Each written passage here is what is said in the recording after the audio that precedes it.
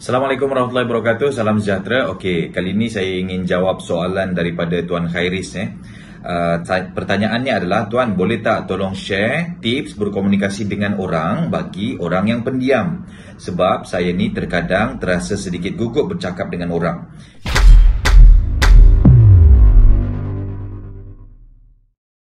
Jangan lupa untuk subscribe YouTube channel Rizal Rashid dan klik notification bell.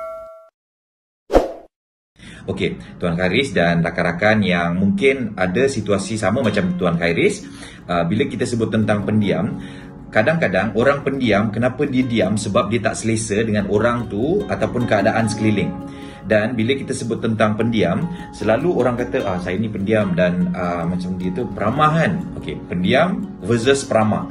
Okey, bila kita sebut tentang macam mana nak deal dengan orang, dan jadi peramah okey satu perkara yang saya nak tuan-tuan dan puan garis bawahi ataupun highlight dekat sini.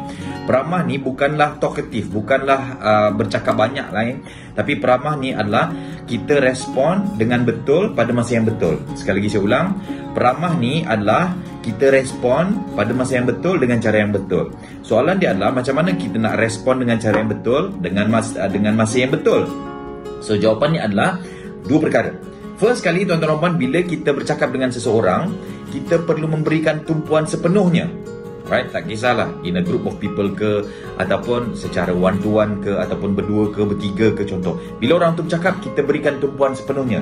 Kita tengok dia, aha, alright dan kita kita tidak tengok orang lain ataupun kita tunduk tak. So, right? Itu itu yang pertama. Maksudnya memberikan tumpuan sepenuhnya.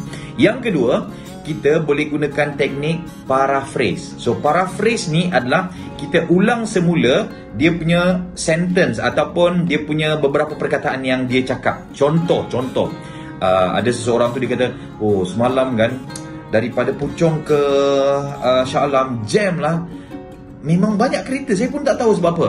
Uh, mungkin uh, ada apa nama ni, ada accident ke. So kita pun paraphrase. Kita tengok dia, kita berikan tumpuan perhati, uh, perhatian sepenuhnya dengan dia dan kemudian kita paraphrase.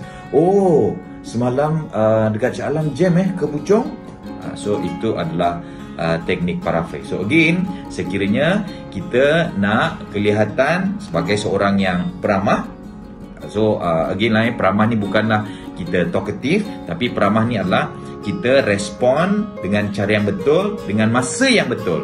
So uh, ada dua cara. First kali kita berikan perhatian sepenuhnya dan yang kedua adalah dengan teknik paraphrase. Semoga bermanfaat. Assalamualaikum warahmatullahi wabarakatuh dan salam sejahtera.